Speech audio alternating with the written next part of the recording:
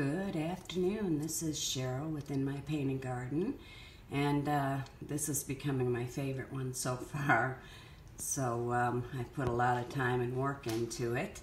This is it's totally not finished yet. I still have to put leaves and flowers on it, but I've done the bricks, the pine cones, stonework, and this is becoming my favorite one.